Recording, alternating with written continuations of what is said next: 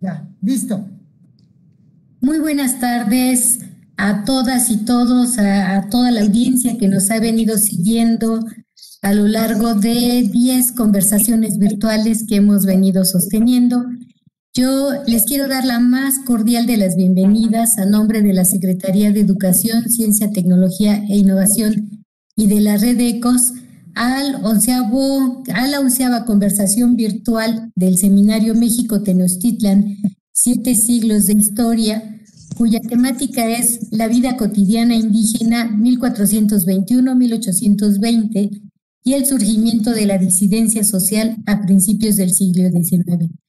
Quiero comentarles que nos acompañan tres extraordinarios y extraordinaria académica investigadores de muchos años que han venido trabajando una temática sobre la que muchas veces nos detenemos poco a pensar porque forma parte del día a día, de la vida cotidiana y el reflexionar acerca de temáticas como el espacio, la ciudad, los habitantes, la vecindad, la familia y los grupos domésticos, el trabajo, el tributo, el servicio personal, las ocupaciones diversas, la piedad y la fiesta, muchas veces salen del marco de nuestra reflexión porque pretendemos analizar eh, gestas históricas, acontecimientos que marcan un rumbo distinto en la historia de, de las sociedades, de los países, de las culturas. Pero la reflexión del día a día de lo cotidiano, de lo que nos hace ser lo que somos a partir de los vínculos profundos que establecemos con quienes compartimos tiempo y espacio, es eh, muy, muy pocas veces reconocido y apreciado, pero su importancia es verdaderamente impresionante. Y por eso estamos tan este, complacidos y honrados de poder iniciar esta reflexión acerca de estas temáticas que han definido pues el sentido último de nuestra subjetividad y de la subjetividad de eh, la vida cotidiana de los indios en la Ciudad de México. Em, para este conversatorio nos acompañan, en primer término, la doctora Pilar Gonzalo Aispuru. Ella hizo su licenciatura en Historia de América Latina en la Universidad Complutense de Madrid y la maestría y doctorado en Historia en la Universidad Nacional Autónoma de México. Es profesora investigadora en el Centro de Estudios Históricos del Colegio de México e investigadora emérita del Sistema Nacional de Investigadores. Ha sido profesora de licenciatura y posgrado en el Colegio de México, la Universidad Iberoamericana y la UNAM, así como la Escuela de Antropología e Historia. Ha publicado 11 libros como autora individual, 20 como editora y o coordinadora y ha dirigido la obra colectiva Historia de la Vida Cotidiana en México. También es autora de más de 100 artículos y capítulos de libros y ha sido invitada como profesora y conferencista a más de 100 simposios, coloquios, congresos y reuniones académicas. Destaca su labor en la formación de grupos especializados en temas de historia de la familia y de la vida cotidiana. También nos acompaña el doctor Pablo Escalante Gonzalvo, quien es doctor en historia por la UNAM, se ha dedicado al estudio del arte y cultura indígenas del México Central en el posclásico y después de la conquista. Em, el doctor Escalante tiene como principal línea de investigación el arte cristiano indígena del siglo XVI en la Nueva España. Varios proyectos de investigación de los últimos años se relacionan con esta línea general y son los que se refieren a los códices mesoamericanos, la tradición mixteca Puebla y la historia cultural de los pueblos nahuas. Y también está con nosotros el doctor Antonio Rubial García, quien es doctor en Filosofía y Letras por la Universidad de Sevilla, España, doctor en Historia por la Facultad de Filosofía y Letras de la Universidad Nacional Autónoma de México, profesor titular también de la Facultad de Filosofía y Letras, donde imparte los cursos de cultura de la Edad Media, la Nueva España en los siglos XVI y XVII y el Seminario de México Colonial. El doctor Rubial em, tiene eh, como eh, tema, temáticas centrales de investigación en los últimos años el análisis de la violencia física y simbólica de los santos en la historia del cristianismo, Es un libro que publicó Ediciones en Educación y Cultura, trama editorial en el 2011, y un caso criminal de oficio de la justicia eclesiástica que fue publicado por el Colegio de México en 2017.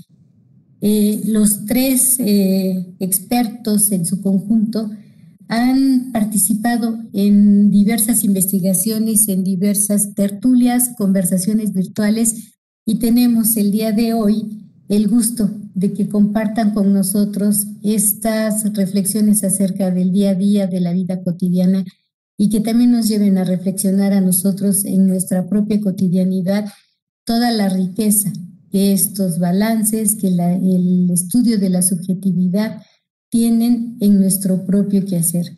Pues yo, eh, a nombre de la doctora Rosaura Ruiz Gutiérrez, titular de la SECTEI, les doy la más cordial bienvenida y ya estamos muy dispuestos y dispuestas a escucharles, a deleitarnos con sus reflexiones y ampliar el análisis de lo que es la, la vida cotidiana.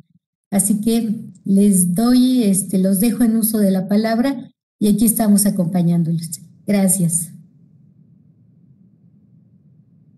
Eh, no se escucha, doctora.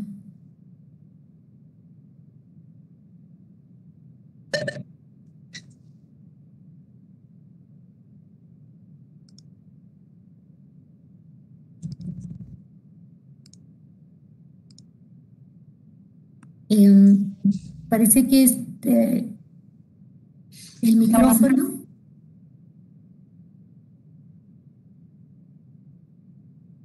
El silencio. Eh, Ahora. Listo. Bueno, no estaba acostumbrado a ese cuadrito arriba, lo tenía siempre abajo. Eh, gracias, gracias por la presentación, gracias a quienes nos acompañan y por supuesto vamos a comenzar a hablar de uno de los temas fundamentales, básicos, porque sin hablar de los indios no estamos entendiendo nuestra ciudad. Y sin hablar de la época colonial y de la época prehispánica, tampoco estamos entendiendo nuestra historia. De manera que nos encontramos ante este dilema que tenemos los historiadores siempre, que nos acusan de que nos volvemos a lo más antiguo. Pero si no nos volvemos a lo más antiguo, ustedes no van a entender nada de lo que les digamos, de lo que pasó después. Por esa razón, al hablar de la ciudad, los primeros que tienen presencia en la ciudad y que por lo tanto van a tener presencia aquí en nuestra conversación, fueron esos indios que llegaron, se instalaron en un islote. ¿Cuántos eran? ¿Quiénes eran? ¿Fueron ellos solos? ¿Hubo más? ¿De qué indios estamos hablando? De eso nos va a decir unas palabras Pablo y luego seguiremos con los temas del día. Por favor, Pablo. Gracias. Tomo la palabra. Espero que se esté escuchando. Sí, perfecto. Bueno, pues no sé a cuántas personas me dirijo. Lo hago de todos modos con mucho gusto y muy agradecido. A mí lo que más me está costando en estos tiempos es no ver a aquellos con quienes hablo. A mis alumnos en la universidad los veo en muchas ventanas, pero los veo y a ustedes no los estoy viendo. Quiero imaginar que a lo mejor son tantos como caben en un salón de clase o quizá más. De todos modos, mucho gusto. Eh, voy a comenzar entonces a hablar de la etapa indígena en la tan compleja, monumental, enorme, hermosa, insufrible Ciudad de México ese eh, ejemplo extraordinario de una historia que surge en un islote con ciénagas y sin posibilidades aparentes de ocupación humana y se convierte en una metrópoli actualmente y en sus tiempos en una sede imperial, en la capital también de un virreinato, la más importante del mundo hispanoamericano. El, la, historia de la vida cotidiana, quisiera decir también yo, sumándome a la introducción, más que un tema en sí, yo he pensado siempre que es como un enfoque o una manera de mirar. Y aunque eh, hemos hecho algunos trabajos propiamente así llamados de historia de la vida cotidiana en el México antiguo, en los barrios indígenas, etcétera, pero en realidad es un enfoque, es una manera de mirar la historia que en mi caso particular viene apremiada por la pregunta que desde estudiante de historia a mí siempre me, pareció importante, que era muy bien, pero en concreto, ¿qué? Es decir, todos esos estudios de historia eh, económica, política, etcétera, muy bien, fundamentales, todos los hacemos, pero en concreto, ¿qué? ¿Qué pasaba en la mañana? ¿Qué pasaba en la tarde? ¿Cómo vivía la gente? ¿Cuántos kilos cargaba la espalda? ¿Cómo se dirigía a la autoridad? ¿Qué significaba en lo concreto? ¿Cómo se enferma? ¿Cómo se cura la gente? Y eso nos lleva a preguntarnos cosas distintas. Ojalá que algunas las podamos responder. Pasando entonces a unas primeras líneas sobre la etapa prehispánica de la Ciudad de México. No importa en qué año puntual se fundó, porque al final la misma historia que los nahuas nos dicen, en la que fijan 1500, perdón, 1300 eh, 25 normalmente, en algunos textos 1345. ¿Por qué dan una fecha a veces 1325 y otras veces 1345? Porque sus ciclos calendáricos que tienen ese sistema vigesimal nos permiten esas dos opciones, por lo menos 1325 o 1345. ¿Y qué es lo que pasa? Que probablemente ninguna de las dos fechas sea una fecha correcta, exacta, en el sentido que nosotros fijamos los acontecimientos. Es decir, crearon una fecha fundacional y a partir de esa fecha empezaron a contar la historia de sus reinados, del gobierno en la ciudad. La realidad es que habían ido explorando y se había ido poblando lo, que había, lo que era originalmente una isla con algunas pequeñas lagunas en realidad una porción de tierra muy pequeña, mucho más pequeña de lo que sería la ciudad de México Tenochtitlan. ¿Cómo se hizo la ciudad? Este es un primer dato fundamental. La Ciudad de México se hizo con tierra artificial, se construyó el suelo, el piso para la ciudad. Una muy pequeña parte de lo que fue Tenochtitlan era islote, era de tierra original. La mayor parte se hizo agregando, agregando y agregando con la técnica de la chinampa, que no es solo agrícola. A veces asociamos la noción de chinampa con lo agrícola, pero en realidad la chinampa es una técnica de poner una cerca de madera y rellenarla de, tierra para ir haciendo que el suelo suba. Con esa técnica de la chinampa se hizo mucho suelo para que creciera la población de las diferentes tribus nahuas. Y además se hizo tierra agrícola para que en los alrededores de la ciudad hubiera algunas opciones de tierra de cultivo. Ahora, el problema de crear una ciudad a base de chinampas es que entre una chinampa y otra chinampa hay agua, por lo tanto no se puede caminar de un lado a otro de la ciudad con toda libertad. Hace falta usar puentes para, para cruzar de una chinampa a otra o bien canoas para navegar por la ciudad. Esto fue una realidad en la Ciudad de México durante mucho tiempo, después de la conquista también, pero la época prehispánica era la forma dominante, un sistema híbrido de canales para navegar y de caminos con puentes constantes todo el tiempo, porque había que pasar de un islote a otro islote a otro islote. En el caso de la zona habitacional, normalmente las grandes chinampas se identifican con conjuntos habitacionales de gente de los que hablaremos con más detalle dentro de un rato. En la isla, en su diseño como ciudad en la época nahua, eh, el centro, que en parte correspondía con el islote que sí existía de tierra firme en un principio, pero que también tuvo que ampliarse y consolidarse, correspondía con las principales plataformas de, ceremoniales, la zona del Templo Mayor, la zona de la Plaza de Mercado, las principales avenidas, algunos palacios. Entonces, el centro era un centro político y religioso y para los grandes palacios de los nobles. Y la, el resto de la tierra alrededor de la zona central se dividió por razones eh, tradicionales, históricas, que es complejo explorar, en cuatro, en cuatro parcialidades. Al noreste, al sureste, al suroeste y al noroeste. Ese, cuatro cuadrantes, cuatro parcialidades que en agua se llama campa, naucampa, las cuatro parcialidades. Pero en cada una de ellas había multitud de barrios, todos ellos en sus respectivos, eh, en sus respectivas chinampas, encerrados adentro de esas chinampas. Eh, dicho esto, que la tierra de la isla es formada artificialmente con chinampas, que implica una dinámica de circulación en canoa y con puentes, y que está dividida con vida en los barrios y sus cuadrantes administrativos, quizá vale la pena subrayar una cosa. La ciudad, una ciudad en el agua, entonces y luego y ahora tendrá siempre un problema con el agua. Como Venecia valga la comparación, tiene todo el tiempo un problema con el agua. Una ciudad que está en el agua tiene que lidiar con el agua. Ahora bien, hay otra cosa, que, porque el, tema del agua tiene dos, por lo menos, y lo sigue teniendo hoy y lo tuvo en la época colonial, según creo. El, el, tema del agua tiene dos vertientes. Por una parte, el agua de alrededor, el agua en la que está la ciudad, es decir, el problema de los niveles, el movimiento, los canales. Y el otro, el agua de beber en la isla de México y en el sistema de, Chinampas que creó la gran urbe, no había agua potable. No sé si para todo el mundo es sabido y recordado, pero vale la pena recordarlo, pensarlo. Si ustedes hacen un agujero en una chinampa, no sale agua potable.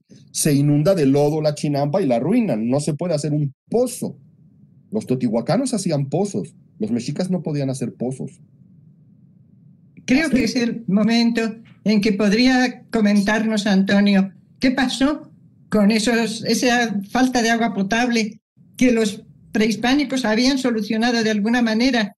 ¿Se conservó, no se conservó? Acueductos, eh, albarradones para que no se cuele otra agua. ¿Cómo lo hicieron?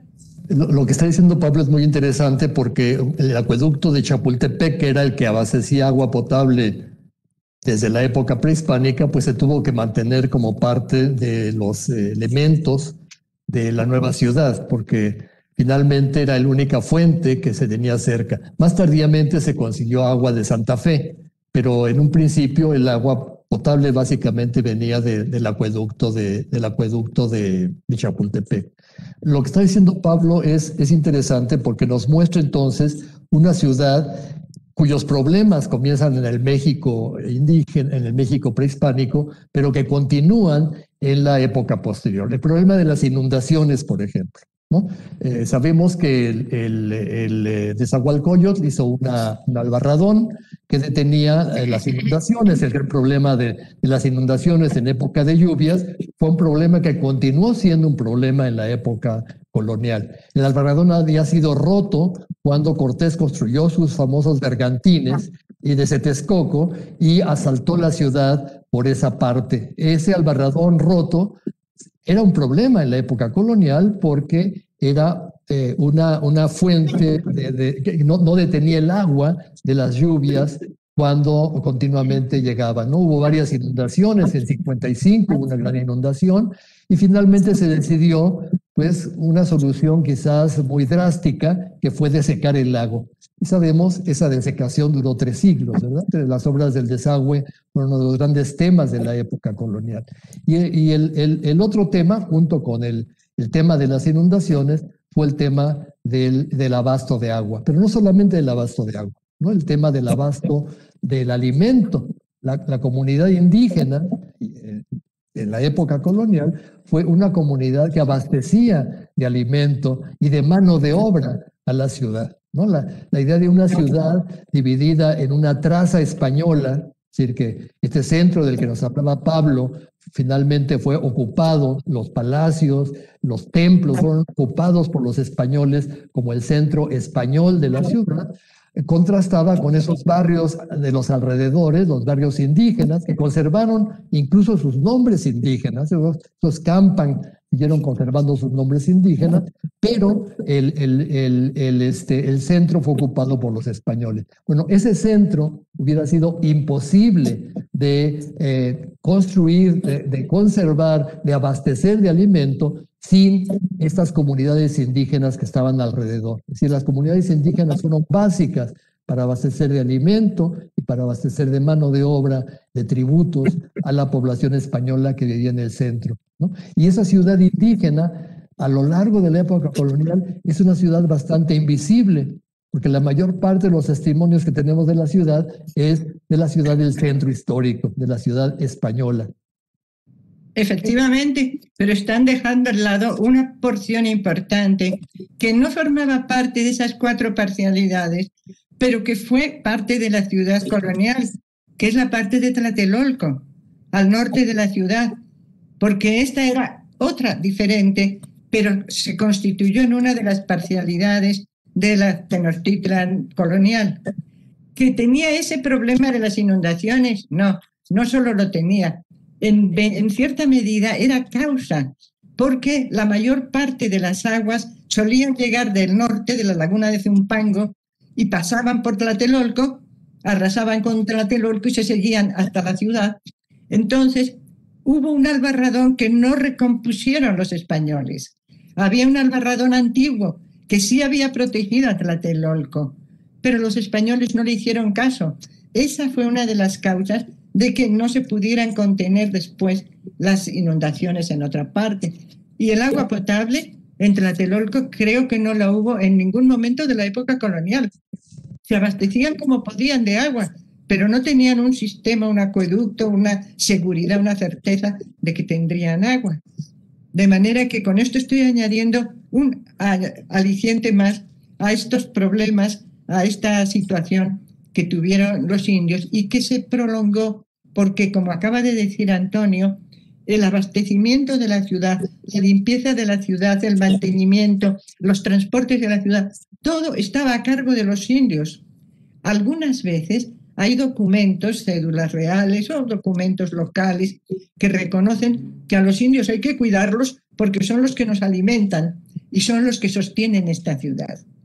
Esta ciudad que se sostiene porque además de estos problemas del agua, con los cuales no vamos a terminar hoy, porque ya sabemos que no se terminaron ni en la época colonial ni mucho después, pero estos barrios tienen otras características importantes, esas las que les dan el nombre, por ejemplo, y además sus actividades, entre las cuales el comercio es una parte fundamental, la producción, el comercio y el consumo, que en ese sí participaban los españoles. Pero acerca de eso yo creo que hay bastante, bastante que hablar. Yo quisiera rápidamente puntualizar dos o tres cosas sobre el tema del agua para dejarlo atrás. Primero, recordar por si no es conocido, el agua potable en la época prehispánica solo llegaba a través del acueducto de Chapultepec se hacían filas de barcas que llevaban grandes tinajas y pasaban debajo del acueducto, iban llenando las tinajas y luego se iban a navegar por Tenochtitlan. El agua potable, la gente de Tenochtitlan salía a la parte de canales de, su, de sus predios para recibir el agua potable de los aguadores que iban en canoa. Así se, así se llevaba casa en casa el agua potable. La otra agua muy problemática, la del fondo del lago, existió el problema en la época prehispánica también, porque cuando bajaba mucho el nivel ni podían andar algunas canoas y era necesario hacer estas obras de control, los diques y los acueductos. Pero era tan delicado el problema que alguna ocasión produjeron una inundación, las propias obras que trataba de hacer el emperador Aguizotl para drenar y para que circularan adecuadamente las, las canoas. Mandó agua de Coyoacán a México, pero en tal cantidad que produjo él mismo una inundación y hasta se dice que murió él golpeándose la cabeza en un dintel en aquella inundación. Era impetuoso eh, Aguizotl. Y claro, el control del agua lo lograban con estos albarradones. De hecho, la dinámica de Texcoco era tan, ah, era la masa de agua más grande, hicieron el gran acueducto de Nezahualcóyotl, que prácticamente divide el lago de Texcoco en dos y forma el de México, y luego hicieron un pequeño dique que debemos recordar porque en la época colonial es muy importante, que es el que llamamos dique de Aguizotl, que rodea el contorno de la isla, el que en la época colonial se llamaría dique de San Lázaro, eh, porque, porque justamente rodea y contornea en la parte de San Lázaro. En fin, eh, solamente vale la pena recordar en este asunto del agua que hubo grandes inundaciones prehispánicas. En el siglo XVI, después del cañoneo de los barcos españoles, quedaron rotos los diques y en el 55, en 1555, hubo una gran inundación. Pero justo después el virrey Velasco se aplicó a que se reforzara ese dique de Aguizotl, el, borde de, por la parte de San Lázaro, y ahí sí lo lograron resolver por unos años el problema, tanto así que parte de la tierra de los barrios indígenas del oriente de la isla volvió a ser cultivable por la protección que se le volvió a dar del dique, lo cual suscitó disputas por la tierra, porque los españoles querían hacer sus huertas ahí y los barrios indígenas acuden ante el cabildo español pidiendo que no se concedan esas tierras porque les pertenecen, eh, porque ellos piensan seguir cultivando en ellas ahora que ya están a salvo de la inundación. Y en fin, el beneficio del agua es que podían llevar mucha mercancía. Señalabas el tema del mercado que efectivamente nos dejamos atrás los grandes mercados de México, por lo menos el de la Plaza de México y el de la Plaza de Tlatelolco, que todavía era mayor que el de México en la época prehispánica, se beneficiaban de que se podían cargar grandes pesos debido a la comunicación en canoa. No todo lo tenían que llevar en el mecapal. Las canoas y la existencia de los canales contribuyó muchísimo a que la isla fuera un gran centro mercantil. Otra cosa que también tendríamos que, aclarar y nos va a dar puente para hablar de la población es que cuando hay una fuente de agua potable, es, hay también un, lugar de atracción de población. En la época colonial se puso, el, final del acueducto, una fuente que se llamaba la Mariscala.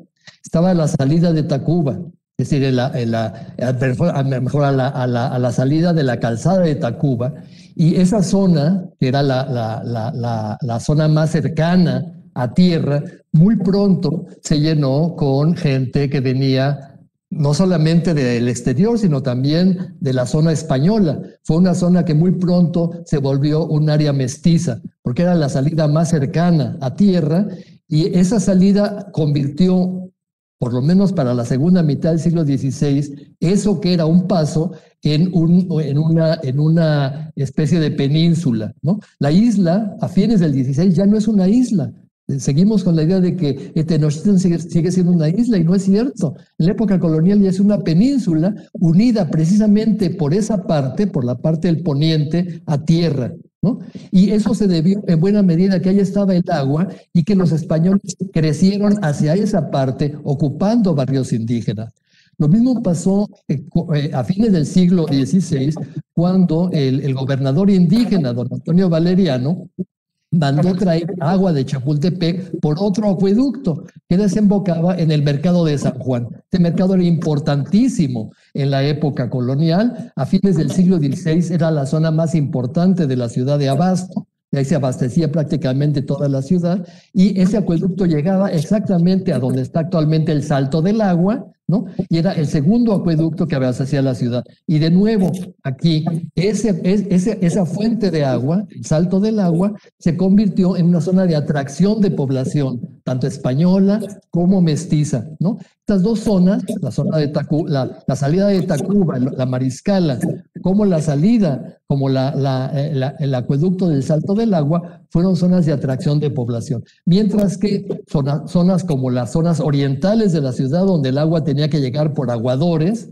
ya no en canoas, pero por aguadores en la época colonial, o Tlatelolco, que era una ciudad que tenía también muy, muy muchos problemas de agua, terminó siendo las zonas que siempre tuvieron problemas de, habitación, ¿no? A veces fueron muy despobladas, sobre todo el tema de las epidemias fue terrible y precisamente el tema de la población está muy vinculado entonces con el tema del agua.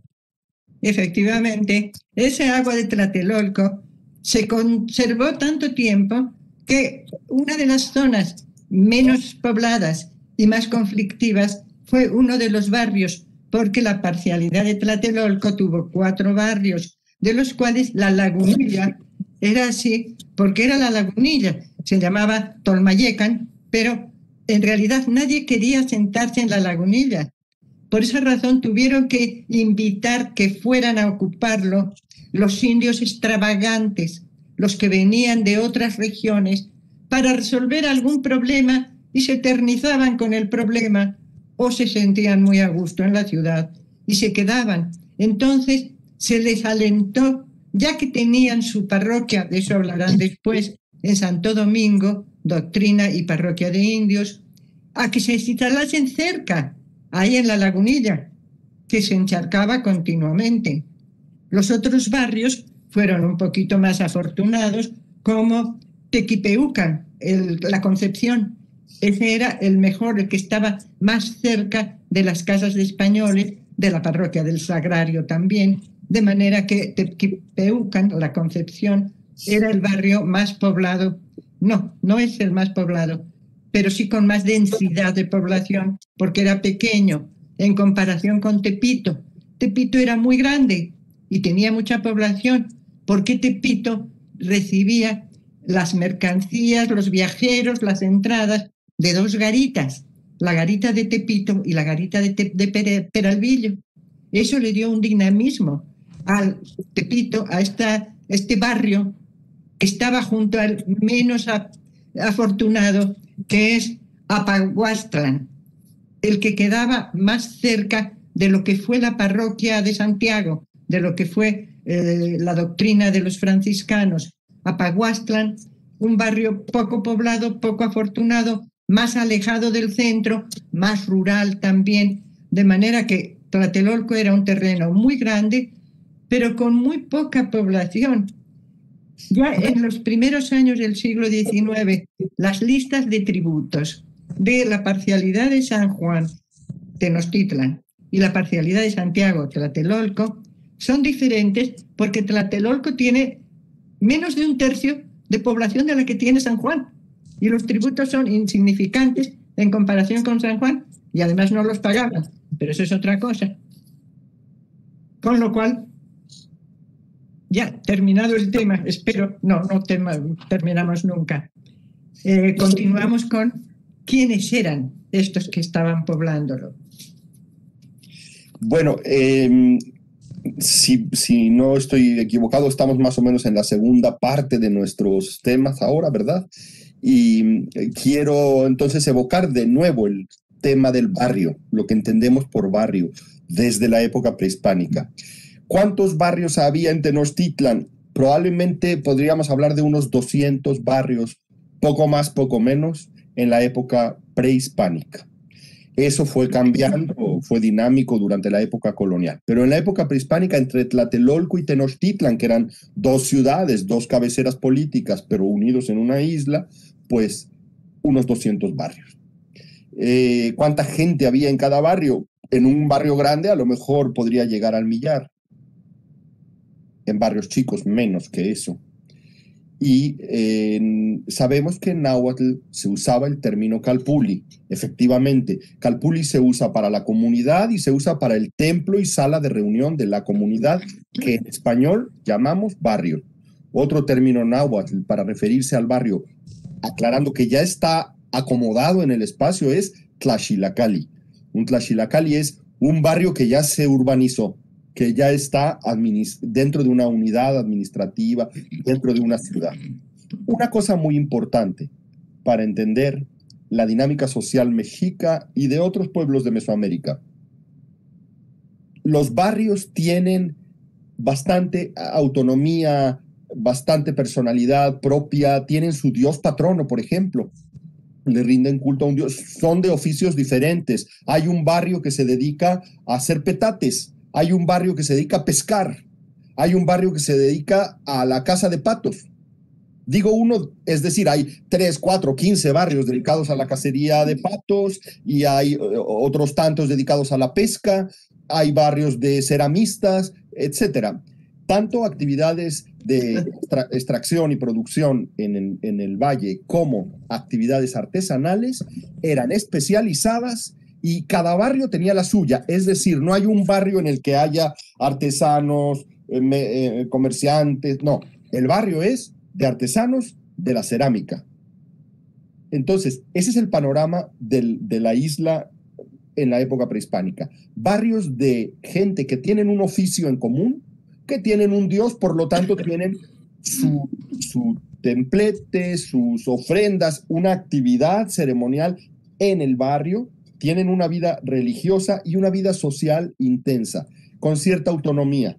Un barrio normalmente, el barrio prehispánico normalmente es como un islote formado por el sistema de las chinampas, que tiene mucho, mucha vida hacia adentro. En un barrio normalmente hay, en el interior hay callejones, plazoletas, las calles son un tanto eh, intrincadas y se busca que haya muchos predios que tengan la parte trasera dando al agua. Quizás no todos lo tuvieran, pero la mayoría de los predios tenían una parte mirando hacia el interior del islote del barrio y otra parte hacia algún canal. Un canal que penetraba en el barrio o un canal que rodeaba el barrio. De tal suerte que el barrio tenía protegida esa relativa autonomía, esa relativa privacidad por una estructura de agua que, la, que lo rodea y lo, lo aísla. Y en donde los predios se ven beneficiados por el acceso a la canoa, al agua y también a la zona del interior. Y tienen, eh, como digo, pues estas, estas especialidades. Cuando hablamos de los barrios, hablamos en general de maceguales, de gente del pueblo. Los linajes nobles viven en las grandes casas, en los palacios, que, que son para, para el señor, sus muchas esposas, sus, sus hijos, eh, es la casa señorial, digamos. Entonces, en la zona central están las casas señoriales, las casas de los nobles, y en todo el, territorio de la isla, estos barrios rodeados de agua. Bueno, retomando un poco el tema, el tema de Pablo, creo que es una, una pregunta también para Pablo, eh, es una ciudad imperial, es una ciudad que es el centro de un gran imperio, y por lo tanto no solamente habita gente de habla náhuatl, ¿no? Habitan también gente de las diferentes regiones que el, que el imperio domina. ¿Estoy, ¿Estoy en lo cierto, Pablo? Es correcto, claro. Sí, sí, sí. Hay, un predominio de nahuas. Los nahuas son, la clase dirigente es nahua, y, una mayoría de los barrios son nahuas, pero hay muchos barrios de gente que ha venido de la costa del Golfo, de Oaxaca, etcétera, a traer además sus especialidades, que son muy apreciadas, artesanales sobre todo. Sí. Bueno, esa, esa realidad prehispánica sigue viva en el periodo virreinal.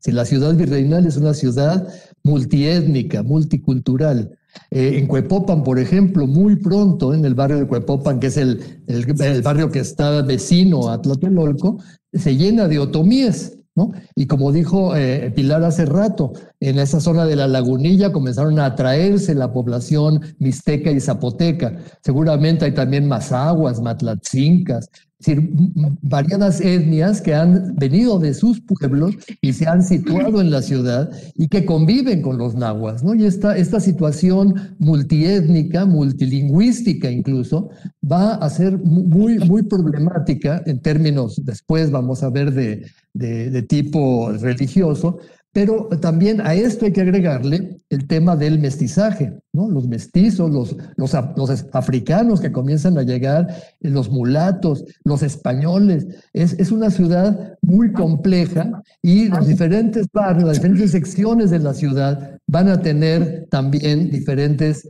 formas de convivencia, ¿no? A veces esa convivencia no es pacífica, es una convivencia muy conflictiva.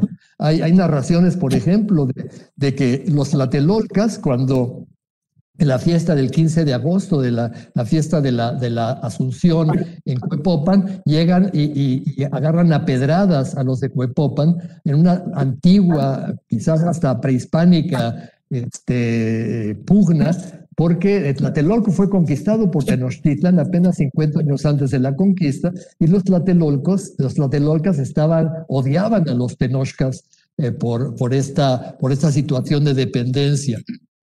Entonces, esta, esta, esta visión, digamos, de una ciudad muy homogénea, con barrios indígenas separados de los barrios españoles, es una visión que no se mantuvo después, eh, eh, eh, aunque fue la visión original de, de, la imposición española, no se mantuvo después, fue imposible, imposible conservarse a lo largo del tiempo. Y otro tema muy interesante que tocó Pablo es precisamente la presencia de la nobleza indígena. No todos los indígenas son iguales. Hay una casta nobiliaria que fue la casta dirigente, fueron, los que nombrados por, la misma, por las mismas autoridades españolas como los gobernantes indígenas. Eh, en Tlatelolco y en Tenochtitlan había gobiernos indígenas en manos de las antiguas aristocracias prehispánicas. Palacios como el Palacio de Huizotl, en la zona de Huepopan, fueron entregados, por ejemplo, a la Orden de Santo Domingo, a la Orden Dominica. Eh, en San Pablo, que fue una zona muy importante, casi fue el primer gobierno indígena, estuvo en San Pablo. San Pablo también era un barrio que estaba, eh, ahí estaba una, una importante familia, la familia Motelchuk, que eran, que eran un linaje no, no, no de los antiguos este, herederos de, de Axayacatl o de, o de Moctezuma o, o, de Ahuizotl, sino eh, una, una familia de, de, Amopili, es decir, no, no eran nobles, pero habían participado activamente en la conquista, habían sido colaboradores de Cortés y se les dio un importante papel. Después, eh, Hernando, de, Hernando de, de Tapia Motelchuk, por ejemplo, fue traductor de la, audiencia, era un indígena que, servía como traductor eh, en, la audiencia. otros barrios, por ejemplo, en, la zona agustina, donde vivía Isabel Moctezuma, que una de la, la, hija de Moctezuma, casada con un español, con Juan Cano, eh, Isabel Moctezuma fue una de las grandes aliadas de los agustinos y los franciscanos también se aliaron con esta casta dirigente. Por ejemplo, eh, eh este, que fue uno, uno, de los gobernantes indígenas más importantes en la época de, don Antonio de Mendoza, era uno de los grandes aliados de los franciscanos. Entonces tenemos una, una casta dirigente prehispánica que sigue funcionando como casta dirigente y que son los intermediarios entre los españoles y la comunidad más igual. Y ahí los frailes también están siendo importantes como puentes entre la comunidad indígena y la comunidad española. Franciscanos, dominicos y agustinos fundaron sus conventos exactamente en la frontera de la traza española con los barrios indígenas, ¿no? Los dominicos, por ejemplo, ya señaló Pilar, estaban este, relacionados con Tepito y con estos barrios de la zona norte, los agustinos con los barrios de la zona sur, San Pablo, y los eh, franciscanos con toda la parte de Cuepopan, donde fundaron Santa María la Redonda, y con San Juan el barrio de San Juan Tenochtitlán, que fue finalmente la cabecera de la parcialidad. Allá hay una línea que iba desde, el mercado de San Juan hasta Tlatelolco, esto que es el eje central Lázaro Cárdenas, y que era una zona franciscana, y los franciscanos aliados con esta nobleza indígena que gobernaba desde Tlatelolco hasta San Juan Tenochtitlán. Y ahí vemos la línea que, los franciscanos llegaron a dominar como el eje, digamos, de de la ciudad indígena del poniente. En cuanto al orgullo, la identidad de cada una de estas parcialidades o incluso barrios, hay un tema muy interesante relacionado con Tlatelolco. Eh, me refiero a un documento que descubrió García Casbalceta, no lo publicó, lo estudió eh, Delfín eh, López, López Alrelangue hace ya como unos 50, 60 años, y es un documento que todavía provoca controversia porque es muy sorprendente. Me refiero a un momento en el cual los españoles de la ciudad presentan una queja solicitando que se les amplíen las tierras para pastos, porque ellos necesitan pasto para sus caballos concretamente, y también hablan de cementeras. Pero ellos alegan que los indios de Tlatelolco tienen una gran cantidad de tierras, era cierto, tenían una extensión grande de tierras que no eran vecinales, que no eran urbanas, y en cambio los españoles ya no les quedaban porque la población había crecido.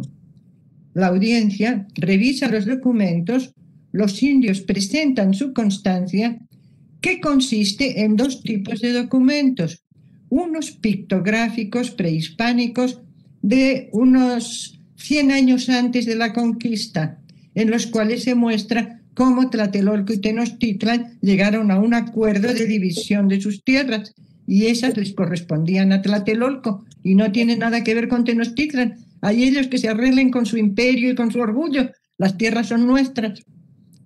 Pero además presentan un documento esto es lo conflictivo, esto es lo que nos preocupa, de el rey Cuauhtémoc, rey Cuauhtémoc, en 1523, o sea, después de la conquista, después de que los españoles están establecidos, cuando Cuauhtémoc es un virtual prisionero, aunque lo tienen con mucho respeto, este documento, Cuauhtémoc, rey Cuauhtémoc, otorga a Tlatelolco beneficio a perpetuidad de todas las tierras que rodean al lago. Y la audiencia, la Real Audiencia de México, da la razón a los indios y dice, nosotros no podemos, como simples licenciados, rebatir lo que dijo un rey. Verdaderamente sorprendente, parece un cuento de hadas, pero yo confío en Delfina López Arrelangue, el documento ahí está. Pero es que todavía cuando alegaron los españoles, acudieron a España, acudieron a la metrópoli. Y la metrópoli no solamente les dijo que refrendaba el parecer de la audiencia, sino que además si los españoles volvían a molestar a los indios en lo que era su legítima propiedad, tendrían que ponerles una sanción a los españoles.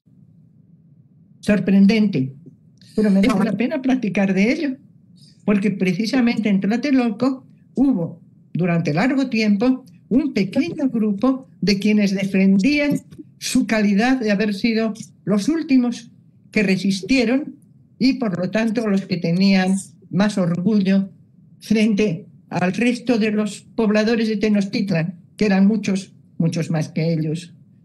Y sin embargo, a la hora de pagar tributo, esa orgullosa élite de Tlatelolco y ese recaudador de tributo indígena que tenía que pagar el tributo del rey, pasaba años que no pagaba el tributo, porque decía que no les alcanzaba el dinero. Pero cuando el rey pedía un préstamo, le prestaban. Ahí están, miles de pesos que Tlatelolco tiene en su caja y puede prestar.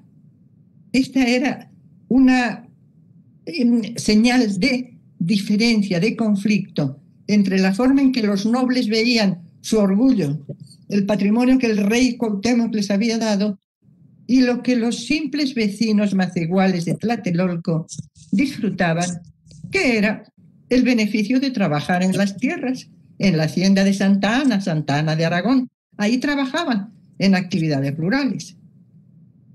Esto simplemente por lo que se refiere a esta eh, identidad que es importantísima para los nobles, pero según lo que yo veo por los demás, por los más iguales, que continuamente emigran y cambian de calidad y se mestizan, no compartían el entusiasmo y el orgullo de la nobleza.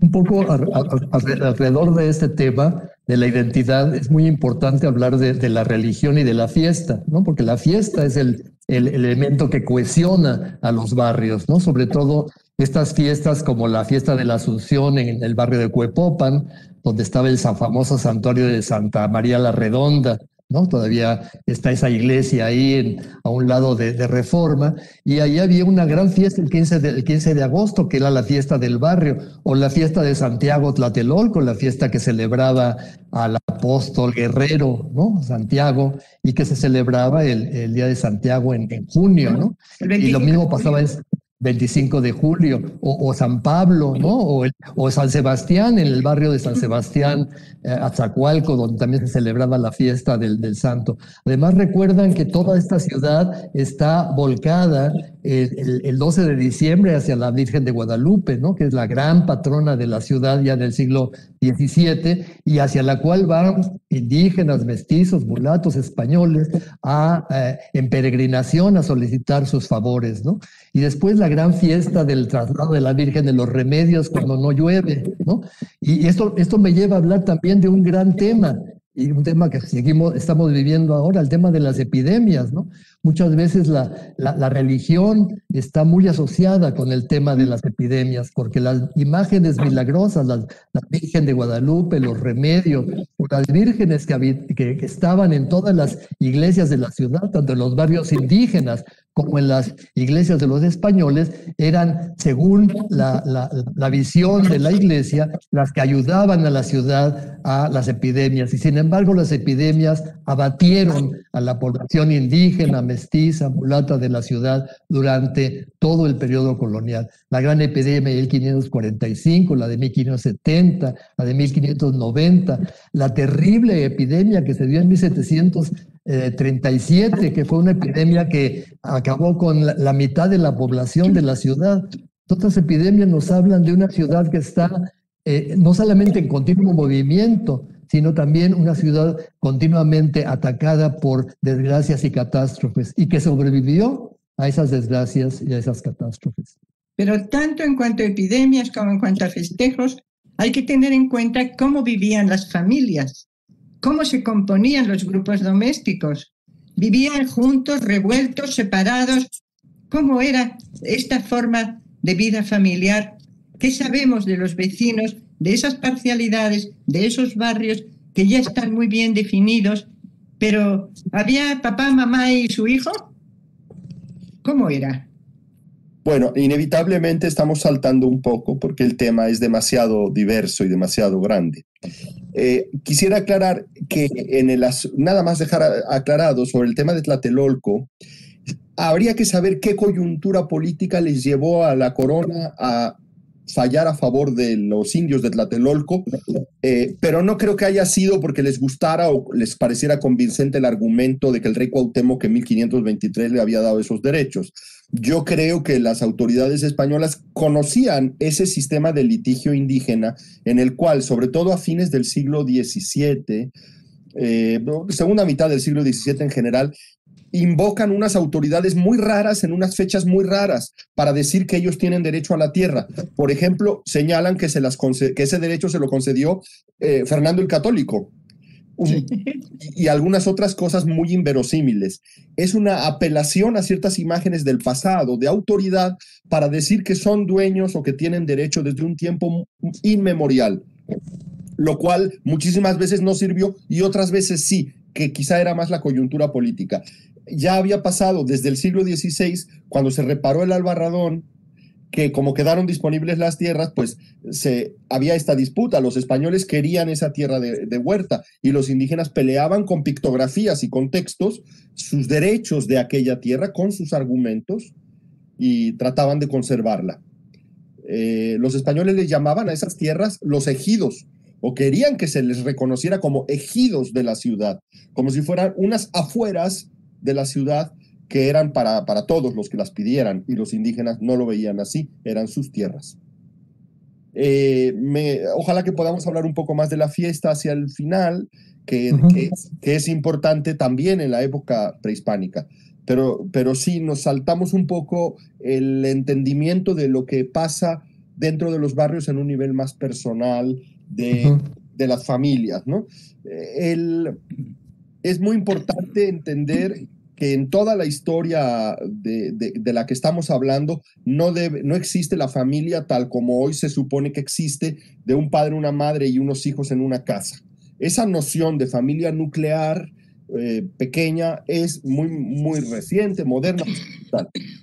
Es eh, la familia indígena en particular, es una familia extensa, lo que los antropólogos llaman una familia extensa una familia está formada por un hermano con su esposa, sus hijos, el otro hermano.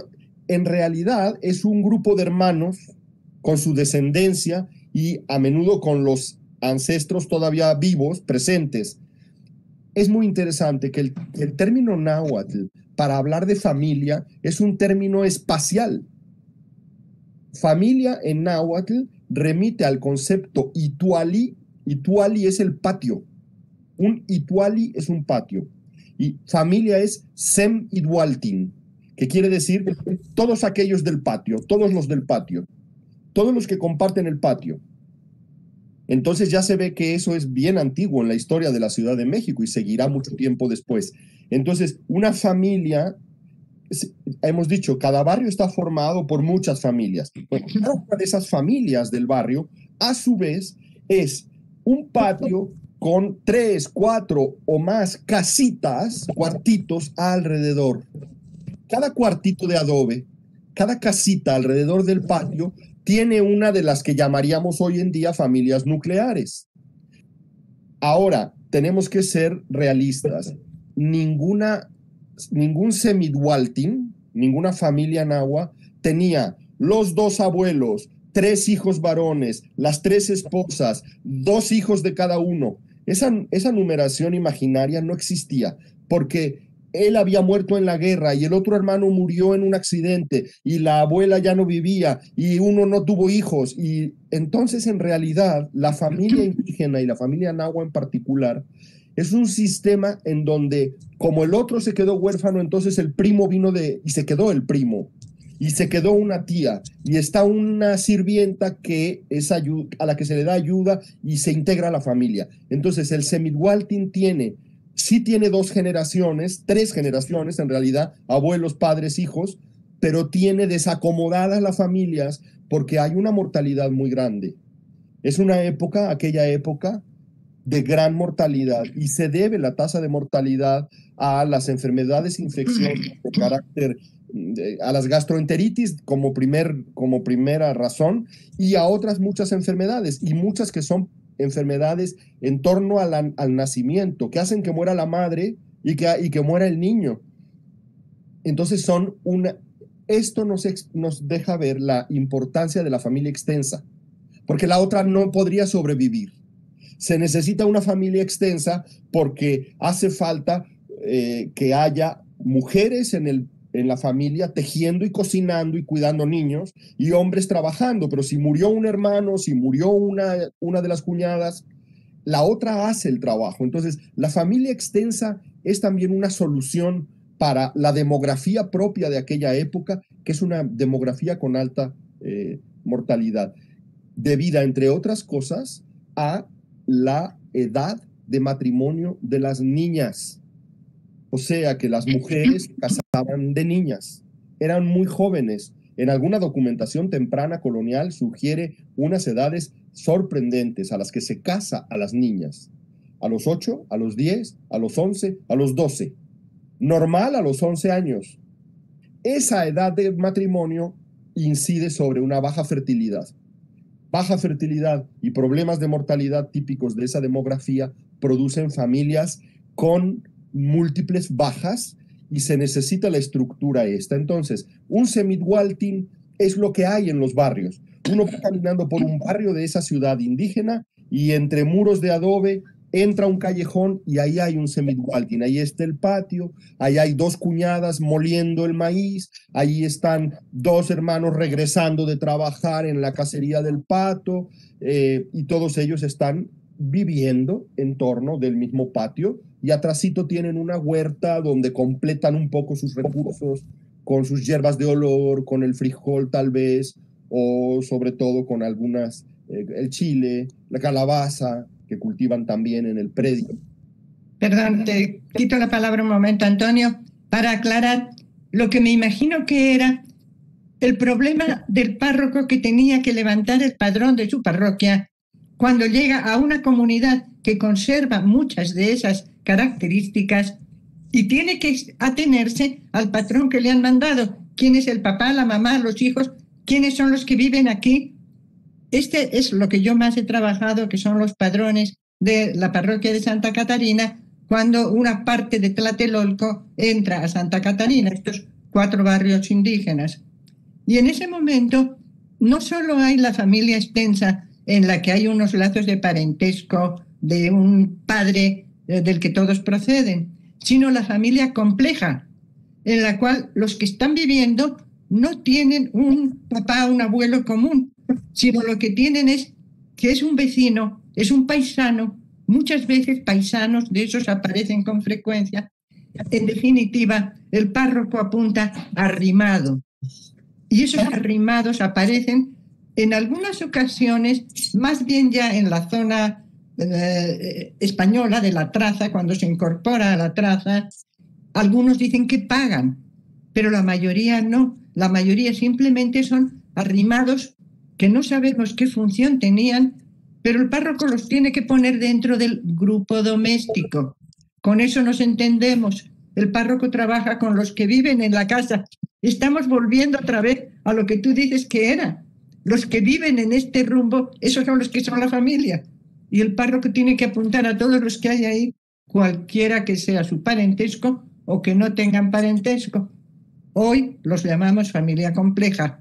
El párroco no se preocupaba por eso. Sí, entonces vemos cómo es una ciudad donde la, permanencia de muchas tradiciones prehispánicas sigue viva, ¿no? Estas, estas comunidades domésticas siguen todavía vivas en el siglo XVIII, a pesar de las grandes rupturas que ha habido, ¿no? La conquista, las epidemias, eh, las, la, la movilidad de los pueblos, todo esto ha provocado rupturas muy, muy fuertes en la ciudad pero al mismo tiempo hay una continuidad de esta tradición, ¿no? Y, creo que es muy interesante todo lo que hemos dicho porque nos muestra una ciudad muy dinámica, muy viva, ¿no? Donde las comunidades indígenas tienen mucha presencia y donde la permanencia de elementos antiguos es parte fundamental de la vida cotidiana. Seguimos hablando del trabajo pues ya son una y media. No sé cómo estamos de tiempo, pero creo que podemos, entiendo que todavía contamos con, con 10 minutos o así para que todavía tengamos unos 15 o 20 de, charla, ¿es posible? Sí, con 15 minutos contamos y después de los 15 minutos ya tenemos eh, varias preguntas, este, felicitaciones también, eh, dudas. Eh, y solicitudes de bibliografía. Así que todavía tenemos 15 minutos. Bueno. Pues por, por, mi parte, entre sacaré algunos detalles que me parece curiosos, que no, que no quiero dejar de lado en este breve tiempo. Eh, por ejemplo, creo que vale la pena hablar de las escuelas y de lo que hacen los jóvenes. Hay que tomar en cuenta una cosa, en la época prehispánica el control del gobierno sobre la ciudad es muchísimo más estricto que lo que pudo ser en la época colonial. En la época colonial hay más voces, más disidencias, discrepancias, eh, los frailes por una parte, el clero secular por otra, el obispo y los frailes no están de acuerdo, el virrey puede ser más amigo del obispo. Y entonces la autoridad se fragmenta y no hay, en cambio, la ciudad prehispánica, mm, sin, sin eufemismos, es la ciudad de una época despótica, en donde el Tlatuani da las órdenes y se hace lo que el Tlatuani dice. Esto no quiere decir que no haya procesos de negociación pero es una sociedad gobernada férreamente y en donde no se discuten las fechas de las fiestas, los lugares donde se deja el tributo, la misma tasación del tributo en la época prehispánica no está sujeta a discusión como lo está en la época colonial, que se negocian y se discuten y se ponen límites. Entonces, em, yo hablaba de que los barrios tienen bastante autonomía y, y creo que así fue, pero así como tienen su vida propia y se les respeta y no podía ser de otra manera, porque no podía entrar el gobierno a organizar la vida de los barrios y las familias dentro de un barrio, pero también tienen una obligación como barrios de responder a las, a las peticiones, a las órdenes, a, las encomiendas del gobierno. Y eh, estas encomiendas incluyen el tributo, por supuesto. Eh, uno preguntaría, bueno, si en, si en Tenochtitlan hay tantos artesanos y tal, ¿cómo pagan tributo? Pues una de las formas en las que los barrios de México pagaban tributo consiste en que los jóvenes, los varones jóvenes, a sus 13 años aproximadamente, tienen que entrar a estas famosas casas de jóvenes, las telposhkali, las casas de jóvenes. Y en las casas de jóvenes, en la mañana lo que están haciendo es acarrear tierra y trabajar en las obras públicas. En realidad es una forma de tomar la fuerza de trabajo de los barrios para las obras públicas. Luego van a hacer ejercicios militares para que cuando el gobierno eh, imperial los llame a la guerra, como barrios organizados, mandan a sus muchachos que ya han recibido instrucción en la Telposhkali, donde además les darán el armamento para acudir a la guerra. Y finalmente en la noche, los jóvenes, en esta edad de adolescencia, digamos, estamos hablando de adolescentes, en la noche los, em, los llevan, los conducen a la Cuicacali y las mujeres que no tienen una obligación generalizada de escolarizarse en la época prehispánica, son pocas las que van a los templos, pero están en casa con sus madres y tías y tal, pero en la noche sí se juntan en, en, lo que se conoce como la Cuicacali, la casa del canto. Y esta Cuicacali los, los varones terminan sus actividades diarias en esta tarde y las mujeres van, son llevadas para que muchachos y muchachas de los barrios aprendan el ritmo, los tonos, la manera de bailar, la manera de alternarse, porque las fiestas y los bailes indígenas eran complejos y tenían que aprender cómo bailar en corro, cómo soltarse y tomarse de las manos, cómo seguir el ritmo del tambor. Entonces, eh, la vida de la adolescencia y de, la, de, los, de los muchachos nahuas es muy importante porque tiene que ver con el control estatal de los barrios, la forma en que se usa su fuerza de trabajo y su servicio militar pero además incide sobre la dinámica de la juventud. A ver si me explico eh, y espero ya no tomar mucho más tiempo. ¿Cómo se enamoran? Porque, a ver, ¿cómo forman las parejas? ¿Cómo, cómo se hacen las parejas? Normalmente, entre los nobles, las parejas son escogidas por casamenteras porque es un tema estratégico de la descendencia, del linaje. Pero entre los más iguales, no. Entre la gente del pueblo, no. En los pueblos del campo, en los pueblos pequeños y en las zonas rurales, el muchacho va a sacar agua, pero no a cualquier arroyo, va al arroyo donde está la muchacha que le gusta. Y a fuerza de ir a sacar agua, la muchacha se da por enterada y eventualmente conversan cuando los papás bajan al mercado y la chica se queda sola. Así surge una pareja indígena normal. Con el tiempo vivirán en, la casa del muchacho normalmente, entre los nahuas es muy patrilineal, perdón, muy patrilocal. Eh, van a la casa del muchacho y ahí hacen familia y en algún momento se casan cuando hay dinero para hacer un banquete, pero pues ya son familia. Esto también pasa en la ciudad, pero en la ciudad pues no hay la posibilidad de irse caminando al arroyo a buscar a, a la vecina, sino que es pues esta vida más constreñida y entonces la Cuicacali parece ser uno de los lugares, si no el único, porque en la plaza del barrio pues también se podían encontrar, pero en la Cuicacali bailan juntos. Y sabemos que después de la Cuicacali en la noche, algún muchacho se lleva a una muchacha a su casa. La llegada de una muchacha a la casa del futuro marido es normal y esas parejas espontáneas son entendidas como algo natural. Así se inician las familias que se formalizan en las bodas cuando hay condiciones, aprobación y condiciones sociales suficientes para, para, para hacer los banquetes. Sí. Bueno, en el periodo, en el periodo colonial, como se impone el catolicismo como religión obligatoria, son los frailes los que realizan muchas de estas, digamos, este, actividades de, entre la nobleza tienen que intervenir en los matrimonios, puesto que es un sacramento, y la nobleza tiene que casarse por la iglesia. ¿no? En cambio, en los más sí es un poco, yo creo que en un principio fue más libre la, la situación y se, siguieron todavía muy vigentes las tradiciones indígenas prehispánicas. Eh, en cuanto a la educación, que me parece un tema muy interesante, los, frailes dirigieron su educación también igual que en la época prehispánica, una educación muy especial para los nobles.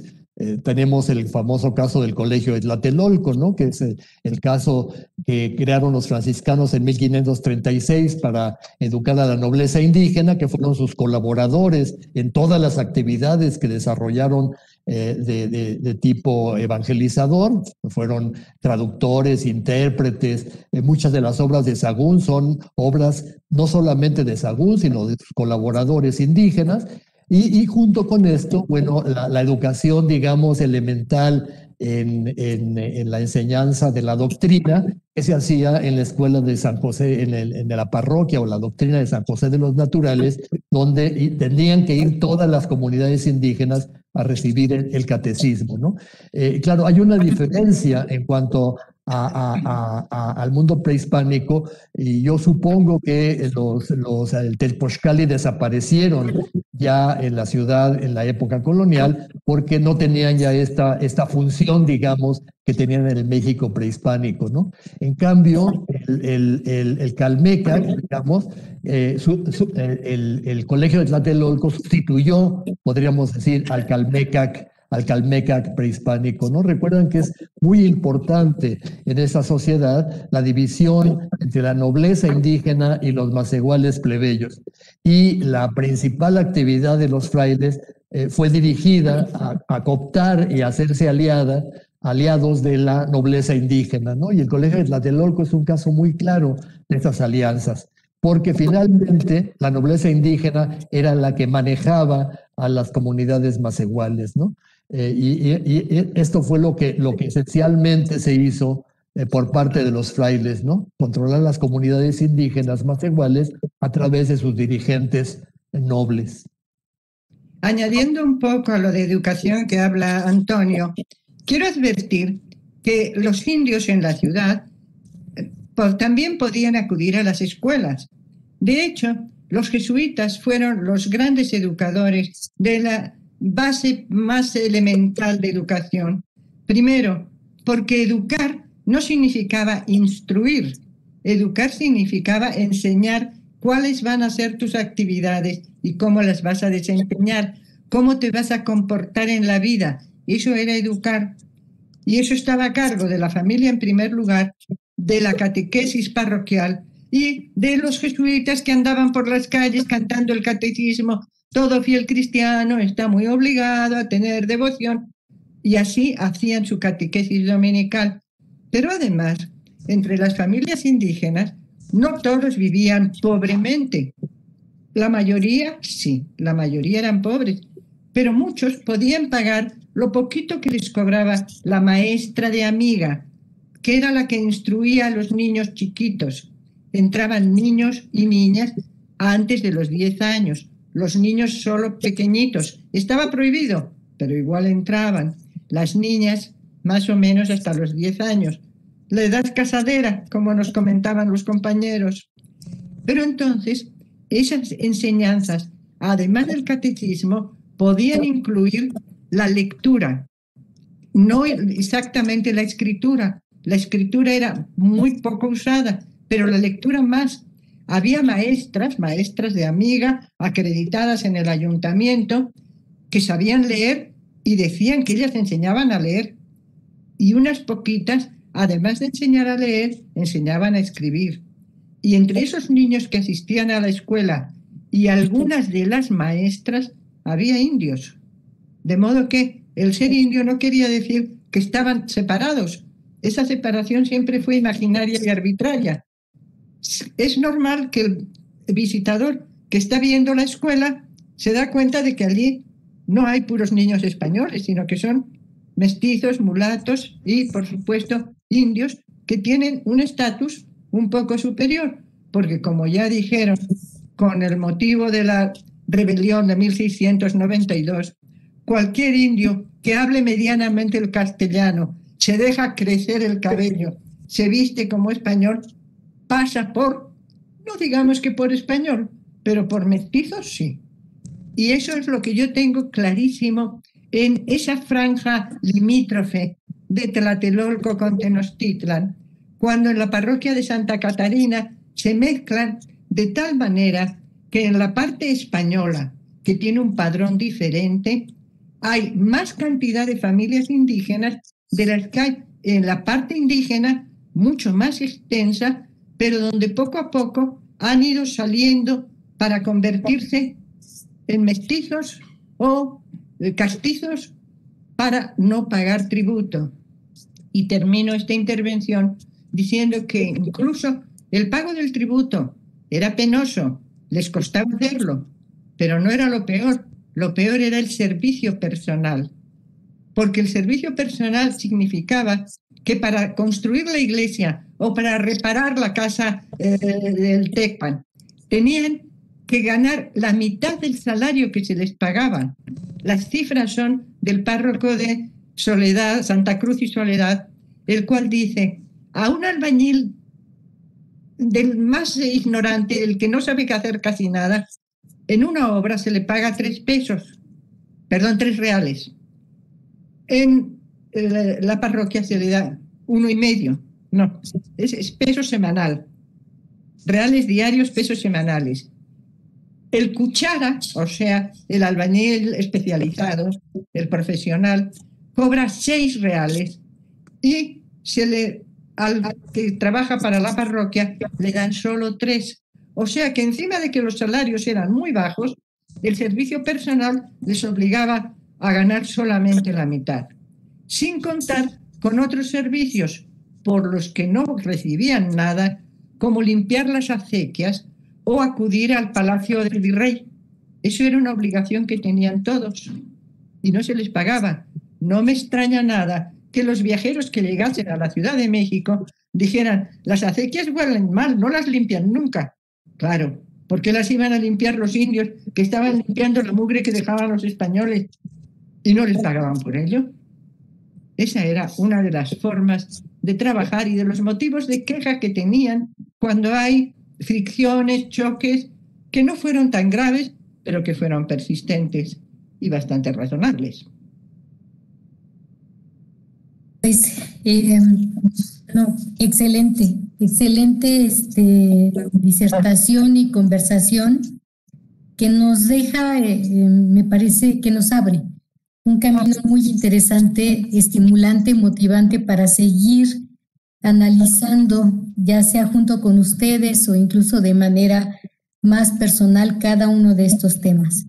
Hay muchas preguntas eh, y voy a, recoger solamente aquellas que tienen estrictamente que ver con el tema de la cotidianidad, porque también hay una solicitud de que de información, de bibliografía, de lecturas recomendadas y por supuesto sus publicaciones van a estar en esta, eh, en esta propuesta de, de tener más bibliografía.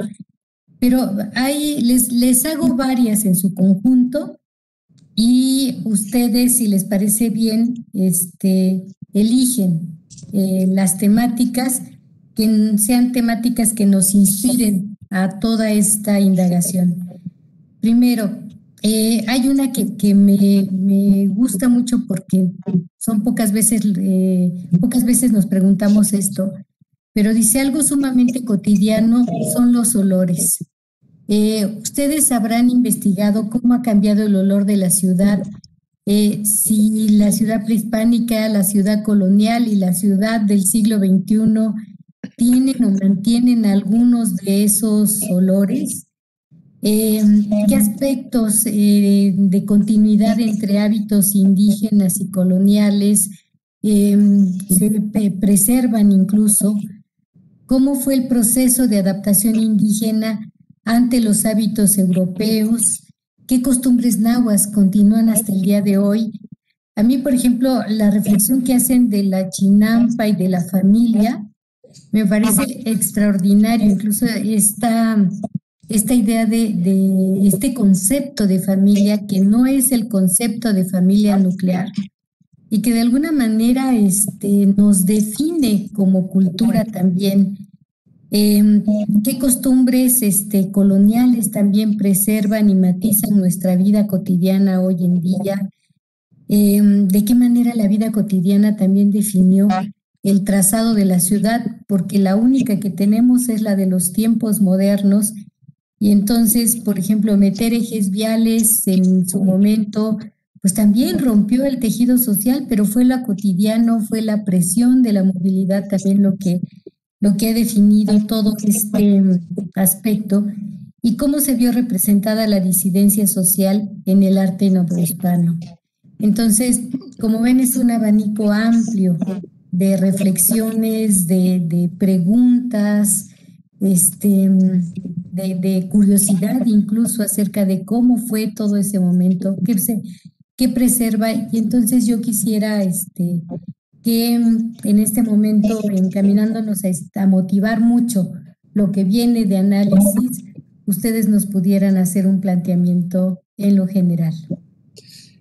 Empiezo, si les parece, por referirme a algunas partes de la pregunta y quedan muchas otras que seguro no podemos atender. Sobre la cuestión de los olores, tan interesante que nos hemos ocupado de ella y otros investigadores se han interesado.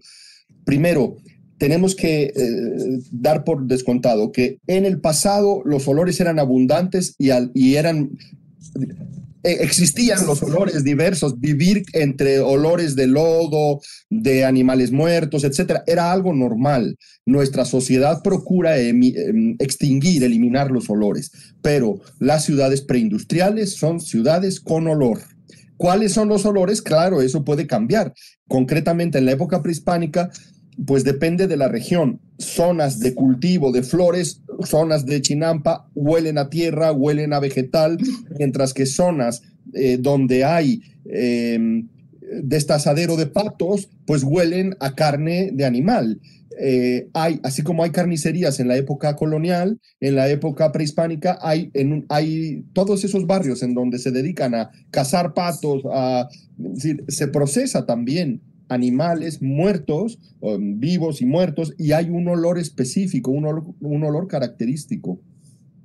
Eh, como las casas tienen un corral, pues está el guajolote, están los perros que también conviven en la familia. Entonces, lo que hay unos olores naturales de donde se planta, de donde está el corralito, donde están los guajolotes, los perros, un olor muy importante en la ciudad preindustrial y en México, Tenochtitlan, es el del carbón, el de la combustión constante. Todo el día hay combustión de las, de las cocinas, porque todo el día están cocinando, los braseros, de los braseros del templo en la noche, eh, siempre huele a carbón porque todo el tiempo hay braseros encendidos, por razones religiosas y por razones utilitarias. Y algunos de esos olores seguros se conservaron. La pregunta general de qué se conserva de lo prehispánico y lo colonial, yo diría mucho más en las zonas rurales mucho más en los pueblos que en las zonas urbanas, pero incluso en el caso de Tenochtitlan, en los barrios indígenas se conservan muchas cosas. Y una vez más, otro principio sería mucho más lo que es privado, familiar, íntimo, menos lo que es público y, y, cívico y religioso. O sea, cambian las grandes expresiones públicas, religiosas y políticas, pero se mantienen mucho más las costumbres de esa familia que sigue comiendo tortilla, donde las hermanas siguen moliendo maíz durante la mañana, el nistamal, donde se sigue comiendo frijol, calabaza, maíz, tomate, a veces guajolote, em, siguen hablándose de las mismas maneras, llenas de diminutivos, de formas cariñosas. Eh, eso sigue existiendo, la familia, la, la, sociabilidad indígena sigue existiendo y es muy perdurable. No hablamos mucho de eso, pero esa sociabilidad que incluye las formas de cortesía, era esmerada la cortesía indígena y lo siguió siendo eh, mucho tiempo. Sí, un poco también este, estas continuidades eh, se dan en, en, materia religiosa, ¿no? Ya me gustaría un poco hablar del tema que también quedó un poco al margen. Pablo quería agregar algo sobre las, las fiestas prehispánicas, ¿no? Quizás podrías hablar algo de las fiestas prehispánicas. Pablo. Sí, claro, claro. Eh, bueno, hay que tomar en cuenta que tenemos dos tipos de fiesta. La pequeña fiesta del barrio, que es eh, la ofrenda que se hace reunidos en torno al templo, incluso las pequeñas, los pequeños rituales familiares que dentro de la, de la, del patio tienen lugar y la gran fiesta pública. Hay esas dos expresiones de la religiosidad. Una religiosidad de las familias y los barrios y otra por las calles y plazas de la ciudad, que debió de haber sido, como lo fue en la época colonial, espectacular. Y en el caso mexica también hay que decirlo con una faceta que era sangrienta a lo largo de unas horas del ceremonial cuando venían los sacrificios humanos que siempre formaban parte de las fiestas y a las fiestas concurre la gente de todos los barrios, pero no a granel. Van por filas, van en orden, van por edades, van a hacer ciertos bailes, terminan su baile y se retiran. Debe haber sido unos grandes cuadros, unas grandes tablas semiacrobáticas en las cuales llega un joven corriendo, tal, se coloca en el centro, baila con... Y todo esto estaba regulado, se aprendía en las, en las famosas Cuicacali en la noche, allí se aprendía cómo participar en este fastuoso espectáculo de la fiesta religiosa, llenas de flores, llegaban cargas de flores de Xochimilco todo el tiempo, grandes tapetes florales, grandes adornos de plumas, tocados de plumas, disfraces de águila, disfraces de pescado que por alguna razón eran muy utilizados, disfraz de pez, disfraz de águila, eh, eh, atuendos, estandartes y la música. La música de las trompetas, de las flautas de barro, del tambor todo el tiempo, todo el tiempo el tambor. Seis de la mañana empieza el tambor todos los días. Es como la campana. Gran cambio en la vida cotidiana del que no platicábamos. Tambor a la campana. Sí, y esto, esto es un poco lo que pasa también en la época colonial, ¿no? Es decir, los frailes se dieron cuenta de esta riqueza festiva y la reutilizaron para las fiestas religiosas, a la Virgen, a los santos, ¿no? igual pasa en, el ámbito cotidiano, en el ámbito eh, doméstico, los altares se llenan de imágenes de santos, se llenan de veladoras, se llenan de, de elementos que la religión cristiana comienza a penetrar poco a poco en la vida personal, en la vida familiar, pero al mismo tiempo esta religiosidad que se da a nivel público, todas las grandes celebraciones del año estaban relacionadas con las fiestas religiosas, donde se utilizan el canto y la danza, ¿no? Este, hay una continua mención a que las fiestas religiosas siempre los indígenas danzan, ¿no? Los famosos mitotes, ¿no? Y, eso quizás es una continuidad prácticamente hasta hoy. Vayan el 12 de diciembre a la, a la, a la fiesta de la Virgen de Guadalupe y ese es un gran, eh, un gran espectáculo indígena y católico. Pilar. con razón han destacado ustedes el aspecto fantástico, divertido, vistoso de las fiestas, pero se han dejado al lado el sacrificio, porque ya no había sacrificios humanos. Pero ¿qué tal las mortificaciones, los sacrificios? Son una parte esencial de la religiosidad. No se olviden de ellos, porque desde caminar ah, descalzo hasta ir de rodillas, hasta em, lastimarse con un nopal, hasta los sacrificios callados silenciosos, o los latigazos en la espalda, iban desnudos para poderse latigar y de la sangre salpicaba a los concurrentes. Eso formaba parte de las celebraciones. Y hay algunos visitadores, algunos prelados, que lo ven con mucha satisfacción, como que realmente qué devotos y qué piadosos son, si la sangre hasta me salpicaba a mí. Hay otros que no lo ven así y que dicen esto es una reminiscencia que no nos gusta porque nuestra religión no pide que se hagan sangre. Pero me parece que es bastante expresivo. desde la primera mitad del siglo XVI, los frailes se preocupan al ver el excesivo entusiasmo con que los cofrades, los indígenas en cofradía, tomaban el tema de autoflagelarse y sangrarse. Y les preocupa que inclusive los niños y madres van y se sangran en las procesiones. Yo tengo la impresión de que sí, efectivamente, hubo este, eh, eh, al poder hacerlo como cristianos en general, sin consideraciones de clase, podían hacer lo que en la época prehispánica estaba reservado a la nobleza. Solo los nobles podían punzarse la lengua, punzarse las orejas, sacarse sangre. Parte de la virtud que los nobles vendían como una de sus cualidades para gobernar era que ellos hacían penitencia, que ellos se sangraban.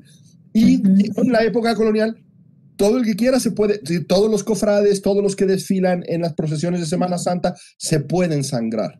Sí, efectivamente, ahí hay una continuidad también muy interesante. Y que llega hasta hoy. Nada más vayan, a la Semana Santa en Tasco, en Iztapalapa, ¿no? Es, son, son, ¿no? Este, es una de las continuidades de las que hablábamos, ¿no? Así es. Y hay otra pregunta que hizo Julio Rivera, que también me parece interesante porque él nos pregunta si había temblores y cómo reaccionaba la gente ante este, un temblor en la Ciudad de México.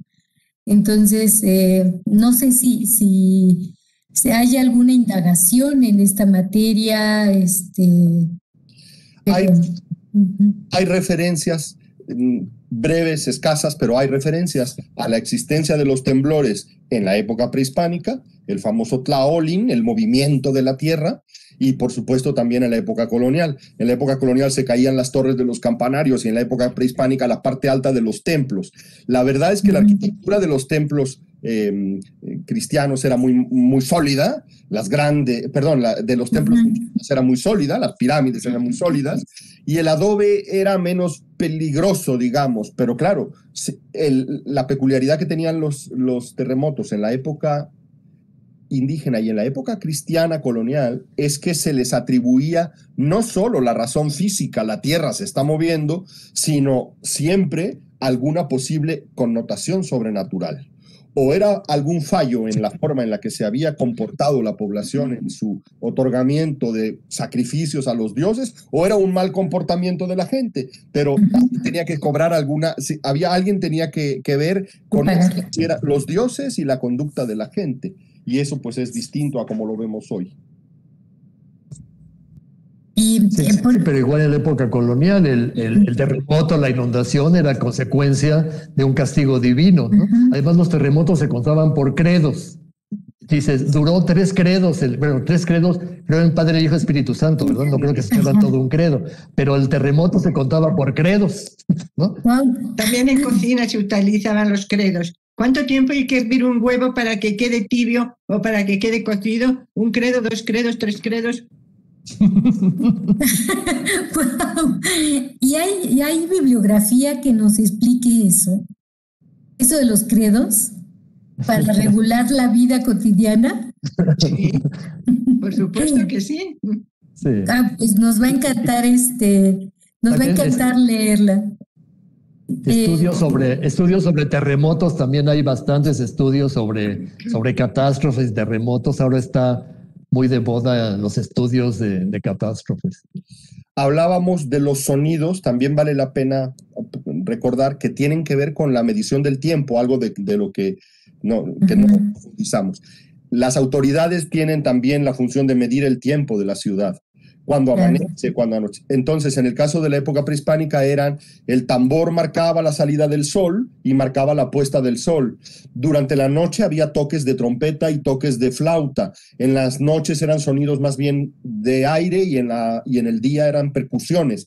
Pero se marcaban lapsos, probablemente intervalos de unas tres horas o así, que iban marcando las divisiones del día y, que y las actividades tenían que cambiar. El mercado se levantaba no cuando se les ocurría o ya vendían todo, el mercado se levantaba cuando venía la instrucción desde el sonido de los tambores de los templos. Y en la época colonial, por supuesto, las campanas toman la función de medir el tiempo. Un ángelus indica que es el mediodía o una marca de las seis o seis y media nos indica que hay un rosario, ¿no? Toque de oración. El toque de oración suspendía las actividades y era cuando la gente ya descansaba, charlaba o se emborrachaba. Y mismo el ángel, teóricamente, todo el mundo tenía que interrumpir lo que sea que estuviese haciendo a las 12 del mediodía. A las 12. Aunque solo fuera para decir, acordémonos que estamos en la santa presencia de Dios. Y ya luego seguían eh, timando al comerciante o al vecino, peleando y quitándole la tierra al indígena, pero se acordaban de que estaban en la santa presencia de Dios. Qué increíble. Es que estoy pensando que seguramente en lo cotidiano, seguramente hay prácticas y buenas prácticas que pudiéramos nosotros también recuperar para hacer de nuestra ciudad una ciudad mucho más sustentable. De estas prácticas cotidianas, ¿Qué pudiéramos recuperar hoy día en el siglo XXI para que esta grandiosa ciudad en la que coexistimos pueda mantener un mejor equilibrio con el entorno, con lo natural, con el universo? Yo propongo una, eh, pienso en una, en la época antigua había una iniciativa desde la propia comunidad. El orden organización, limpieza, orden cotidiano, era preocupación de las familias y los barrios. Ahí empezaba. Luego venía la parte pública y las avenidas y todo, pero la toma de responsabilidad sobre el orden, limpieza y organización era un acto comunitario, familiar y comunitario. Y eso hacía que funcionara toda aquella cosa inmensa, porque tenía dos polos de iniciativa, la comunidad que procuraba tener su espacio limpio, silencioso, tranquilo, sin delincuentes, etcétera, y el Estado que quería tener unas eh, calzadas brillantes sin desperdicios y unos mercados limpios. Pero esas dos iniciativas confluían y a lo largo del día se iban tocando esos dos órdenes. No siempre eran amigos, no siempre eh, había conflictos, pero, pero existía esa iniciativa que nacía en la misma comunidad. Sin esa iniciativa no basta, no puede ser todo un orden desde la autoridad estatal. Todavía en el siglo XX había alguna vida comunitaria, alguna sociabilidad en las colonias, eh, los que vivíamos en casas chicas, eh, pequeñas, eh, nos conocíamos unos a otros, convivíamos. El día de la verbena o los días de la verbena, la romería, íbamos todos a comer una cosa que estaba peor de lo que la habrías comido en casa, pero el buñuelo que comías en, en la parroquia era diferente y ahí nos veíamos, nos tratábamos, hasta cuando salíamos a pasear nos saludábamos los vecinos. Esto fue en el siglo XX, eso fue hace 30, 40 años. Ahora es cuando lo hemos perdido. Así es. Un poco la idea, la idea también de la solidaridad, ¿no? Este, y lo hemos visto, lo hemos vivido cuando los grandes terremotos ¿no? que ha habido o, las catástrofes ¿no? que ha sufrido esta ciudad, como la solidaridad eh, de la gente, ha, salvado la ciudad de, de, pues de vivir situaciones mucho peores, ¿no? Creo que el, el tema de la solidaridad creo que es un tema que también eh, existió en el México prehispánico, existió en la época colonial y creo que sigue existiendo y creo que será nuestra, nuestra salvación como, como comunidad y como ciudad. Claro, pues la verdad es que esta idea de hombre-pueblo y de que todos formamos parte de una cultura en tanto, y que eso es lo que nos define, pues también tiene que, ayudarnos a construir un tejido, a reconstruir el tejido social tan necesario en estos momentos. Eh, me parece, bueno, como todas las buenas eh, cosas, se acaba. Entonces, yo quisiera en estos minutos agradecerle infinitamente a la doctora Pilar Gonzalo Aispuru, al doctor Pablo Escalante Gonzalo y al doctor Antonio Rubial García por esta espléndida este, conversación que hemos sostenido, por hacernos reflexionar acerca de eh, los hábitos y los eh, comportamientos cotidianos que pueden nutrir nuestra, nuestra mirada y nuestra subjetividad hoy en el siglo XXI pero también aquellos otros que este, hoy deben quedar solamente como una forma de relatar, de narrar esa, esa historia en esta dimensión de lo cotidiano. Pues a nombre de la doctora Rosaura Ruiz Gutiérrez y de la Secretaría de Educación, Ciencia, Tecnología e Innovación, les agradecemos por esta estimulante este, conversación, por hacernos pensar, más allá de las grandes gestas, en los asuntos eh, sobre los cuales todos los seres humanos nos articulamos y es la vida cotidiana.